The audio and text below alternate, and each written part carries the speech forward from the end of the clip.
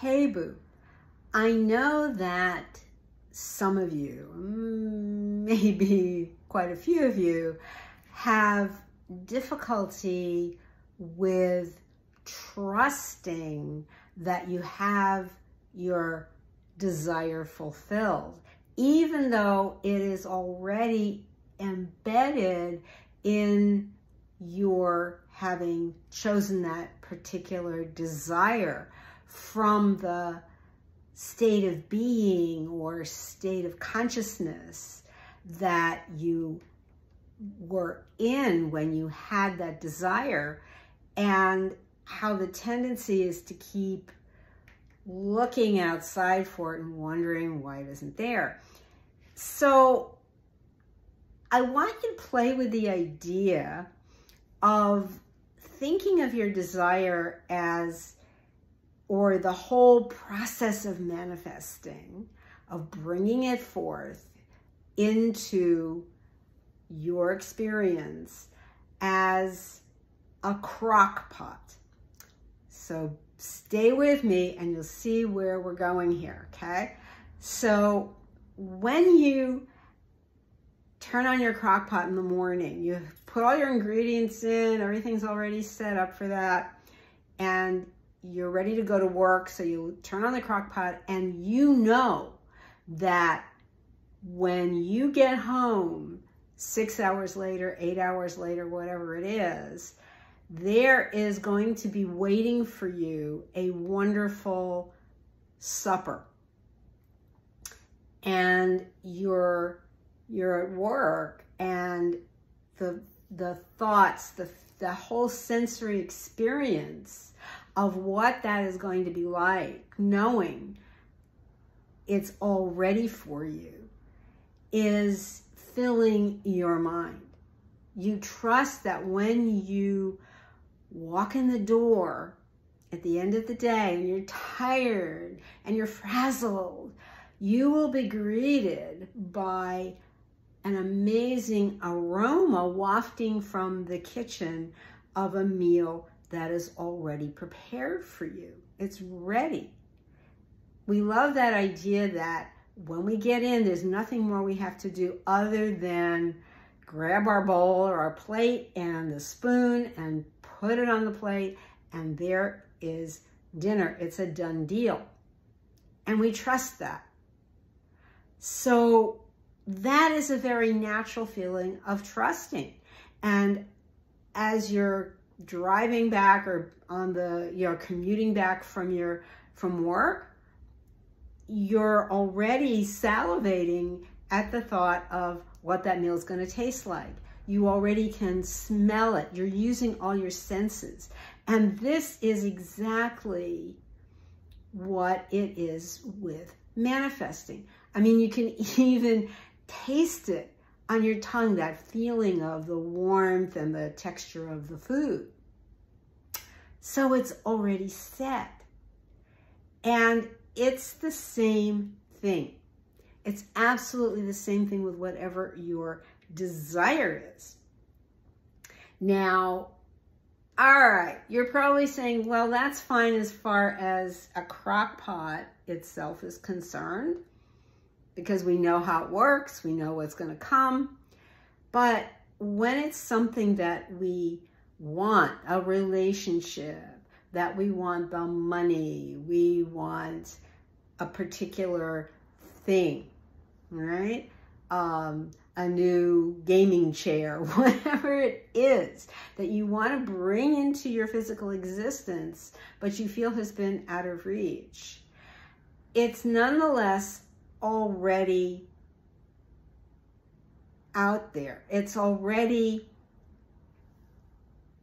happening in the in your full reality, in your full infinite state of being. And if there's stress around it, if you keep looking around to see why you don't have it, you are not fully in the state of being it, of having it. And the more you look, the more you are, Neville Goddard called it digging up the seed. You don't want to be doing that because you're allowing too many things to start to worry you or make you feel afraid that it's not going to happen or that something is going to, some other person or experience is going to get in the way of it. There's nothing to get in the way of it. It's there. Once that has come into your mind. Remember, Neville said, God speaks to us. This is your larger self. God speaks to us through the medium of imagination.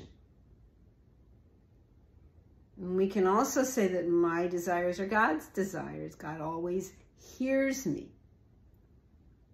So there is no hesitation, no doubt, no obstruction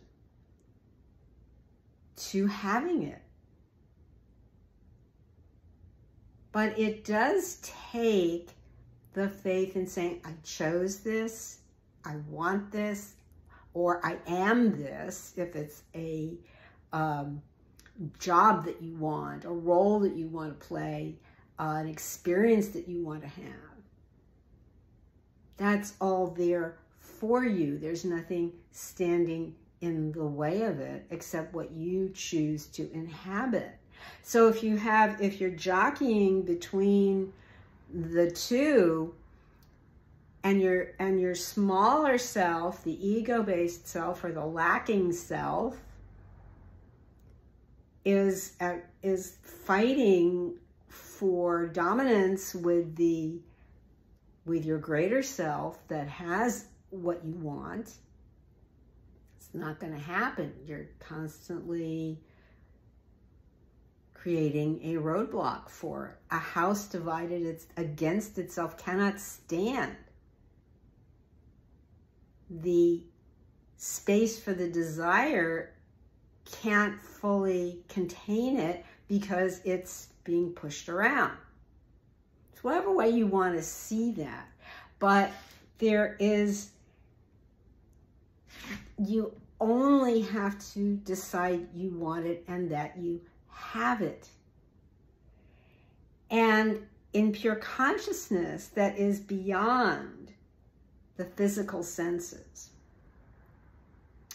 In the greater ground of pure awareness, awareness of being is God. It's really like a sort of cosmic iceberg, if you will. All right, with this, we only see that one eighth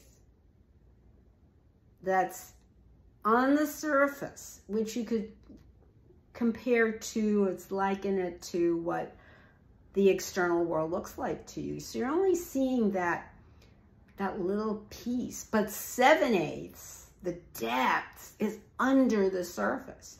Or in terms of awareness, it's beyond what the visible realm, the externally visible realm, to the external eyes are taking, can take in or that the mind, the limited small mind, can fathom, can understand, can comprehend.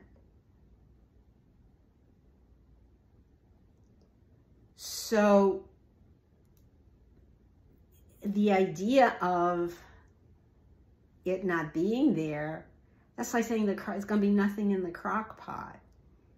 Or deciding that that the electric power went out while you were while you were at work and and it never cooked. Or that you walked out and forgot to flip the switch. So it never went it never it never got it never got warmed up. Never cooked. But it wouldn't be. It's it's deciding it's not running from what you want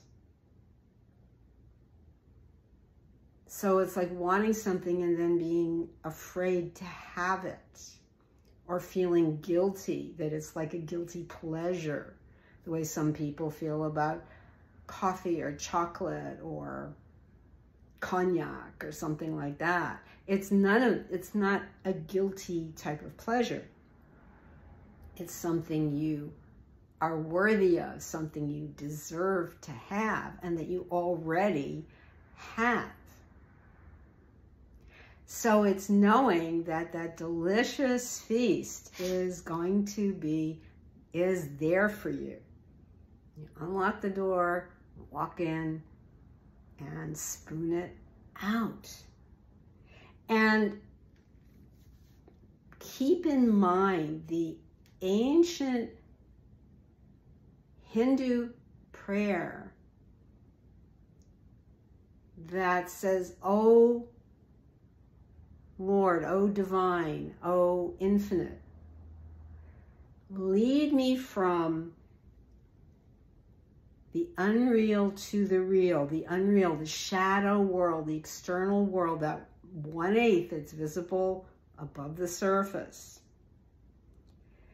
Lead me from the unreal to the real, the pure light that illumines everything, the light without a visible source.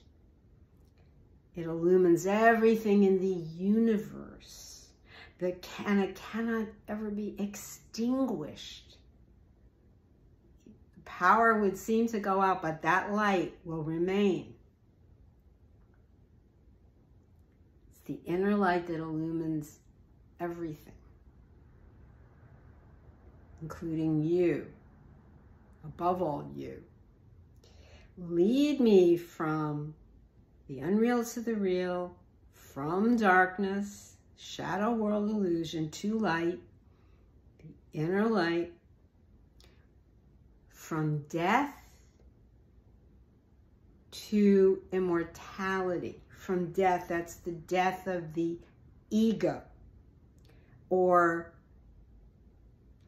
from the death of the, the waking dead, the zombie it's it's sometimes called that, what we that walking around in the meat suit is actually being in the crypt in the coffin. It's in the casket. It's not the true life the life that is within that is eternal.